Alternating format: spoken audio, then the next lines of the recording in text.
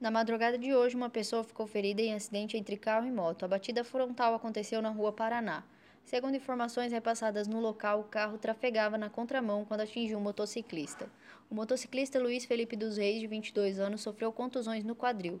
Socorristas do CIAT foram acionados para atender a vítima. Após os primeiros socorros, ele foi levado para atendimento hospitalar na UPA Tancredo Neves. O condutor do carro passou pelo teste do bafômetro que apontou resultado negativo para embriaguez.